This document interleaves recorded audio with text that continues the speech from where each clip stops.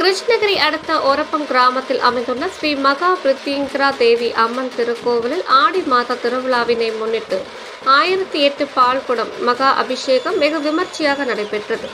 கிருஷ்ணகிரி மாவட்டம் ஒரப்பத்தில் அமைந்துள்ள ஸ்ரீ மகா பிரித்தியங்கரா தேவி அம்மன் திருக்கோவில் இங்கு தினமும் ஏராளமான பக்தர்கள் வந்து வழிபட்டு செல்வது வழக்கம்.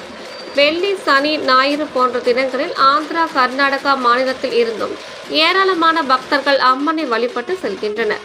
மூன்றாம் ஆண்டு ஆடி மாத திருவிழாவை முன்னிட்டு பக்தர்களின் கோரிக்கைகளை நிறைவேற்றும் விதமாக ஆயிரத்தி எட்டு பால் குடத்துடன் ஏராளமான பெண் பக்தர்கள் ஊர்வலமாக வந்து அம்மனின் அருள் பெற்று வழிபட்டனர். இந்த பால்குட அபிஷேகத்தை ஸ்ரீ மகா பிரித்தியங்கரா தேவி அம்மன் திருக்கோவில் பீடாதிபதி ஸ்ரீ வெங்கடேஸ்வரர் சுவாமிகள் தலைமையில் நடைபெற்றது. பெண்கள் எடுத்து வந்த பாலை அம்மனுக்கு அபிஷேகம் செய்து ஆராதனை நடைபெற்றது.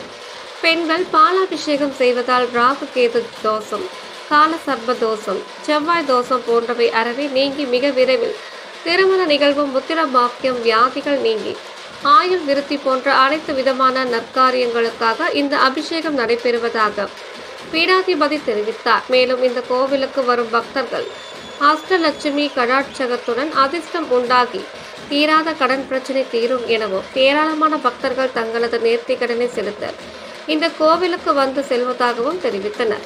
இந்த பால்குட நிகழ்ச்சியில் கிருஷ்ணகிரியை சேர்ந்த ஸ்ரீ ஞான சக்தி தெய்வீக கலை குழுவினர் அம்மன் வேடமிட்டு ஆடிய நடனம் பக்தர்களை மெய்சிலிருக்க வைத்தது.